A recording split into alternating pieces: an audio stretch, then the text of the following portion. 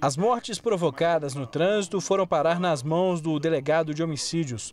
O pedido foi feito pelo Ministério Público. Em 2016, assim que aconteceu o fato, ele foi para a terceira distrital, onde foi dado início à investigação lá.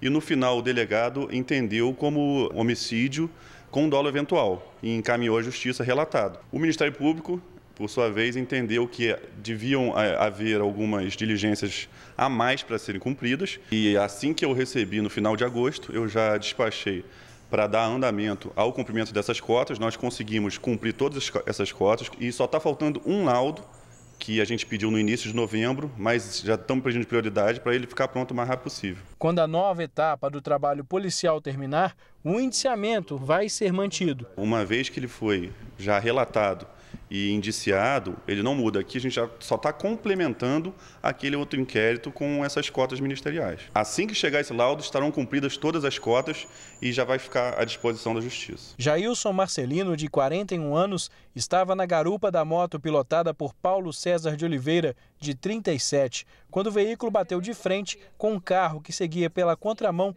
em um trecho da BR-040 em que as pistas são divididas por muretas. Os dois ocupantes da moto morreram no local. A dor da família é grande. Eles buscam informações sobre o caso com frequência porque o sentimento é de injustiça. A expectativa é que agora o processo tem andamento. É um caso muito sério, porque dois homicídios aconteceram na BR-040 e da mesma forma que eles foram soltos no mesmo dia, né, que ninguém foi preso em flagrante, é o que está acontecendo com esses processos. Eles estão deixando a correr a, a, Deus dará. São duas famílias, duas vidas que precisam de justiça e nada está sendo feito até agora. A faixa na parede da casa é uma lembrança dos dois amigos e também da luta por justiça. Além de primo, era um amigo. Ele que animava as nossas festas, tanto de final de ano, aniversário. O Paulo também era amigo, a gente frequentava a mesma igreja, sabe? Quando eu não estou com a família, eu estou na igreja, a gente lembra daquilo que aconteceu tanto com o Paulo quanto com o Jailson. E a gente vê que até hoje nada da justiça foi feito. Aí fica muito complicado para a gente, a gente não sabe o que fazer. Dona Isabel teve um sonho com o filho. Até acordar, pôde sentir a presença de Jailson. Gente, eu beijo ele. Parece que ele está aqui. Eu sonhei com ele um dia.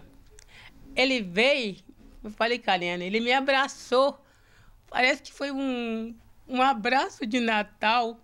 Eu falei, gente, o Jailson tá aqui. Aí ele aqui. Na hora que eu acordei, eu tinha ilusão. Só ilusão, mas ele me deu um abraço tão forte. Que eu falei, meu filho tá aqui. Eu gritei pra todo mundo. O Jailson tá aqui.